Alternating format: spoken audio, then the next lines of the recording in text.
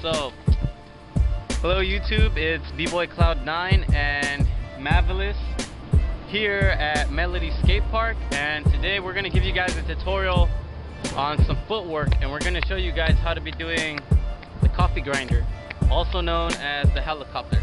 Alright, so you guys stay tuned.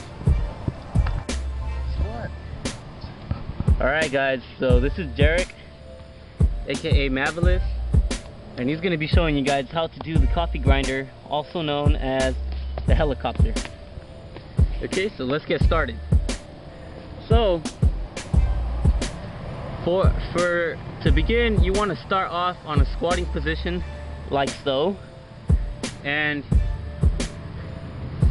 what you want to do is figure out which leg is your preferred dominant leg.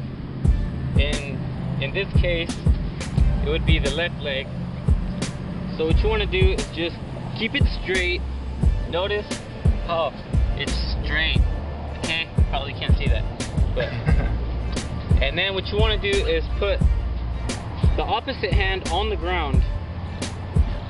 The opposite on the ground, and just practice swinging your leg but keeping it straight. And once you get to your other leg, what you're gonna do is apply pressure to your other hand and simply hop over it with your foot. Okay, like, like this. Okay, and then you're gonna keep your leg straight and swing it all the way back around to your starting position. And you just repeat, but with more momentum. Okay, so it's like this. Four, do four counts. One, two, three, four. Okay? So, that is your coffee grinder, also known as the helicopter. And now, once you develop strength and you get the idea of it, you'll be able to do it with one hand like this.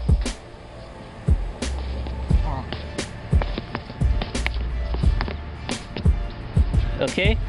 So, remember, this uh, this is an actual breakdance move and to demonstrate we'll show you how it can be used.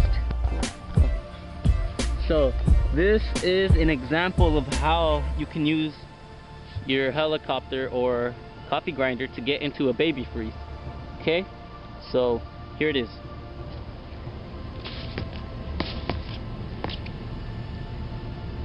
All right. So there is a little variation that you guys can use. So subscribe for more tutorials, comment, rate. This was B-Boy Cloud9 with special guest performance from Mavelis. so stay tuned.